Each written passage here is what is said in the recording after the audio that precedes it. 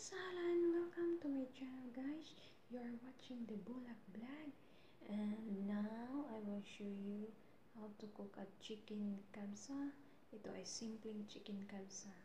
So, see you! Palangga, magluto pa karon o chicken kabsa. Tungod sa hundaan ang sibuyas bombay sa oil.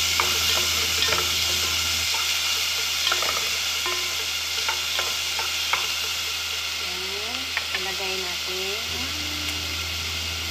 ahos, bawang. Lagyan natin ng ginger, ng luya.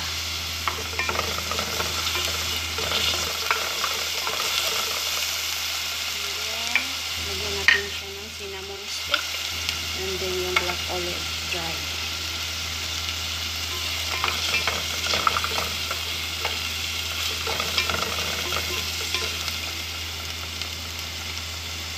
Isunod natin yung kamatis.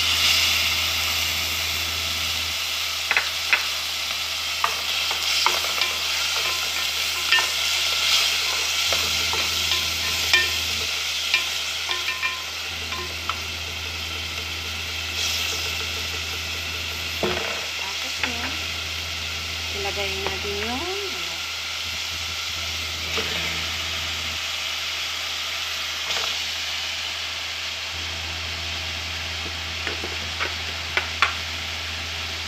and then lagyan natin ng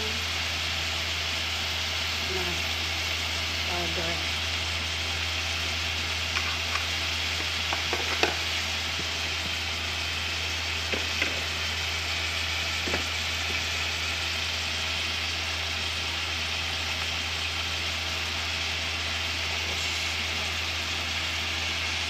Lalagyan natin siya ng mainit na tubig.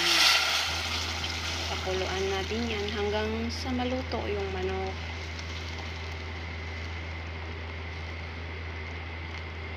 Tapos guys, mahugasan ang rice. Ibabad lang natin siya sa tubig mga 30 minutes hanggang sa maluto yung manok. Tapos ilagay natin siya doon sa manok. Luto na siya guys. Let's eat na. Sarap!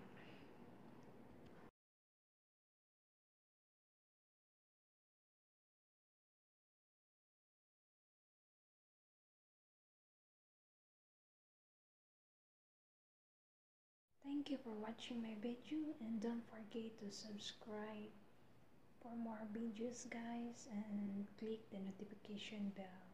Thank you. God bless.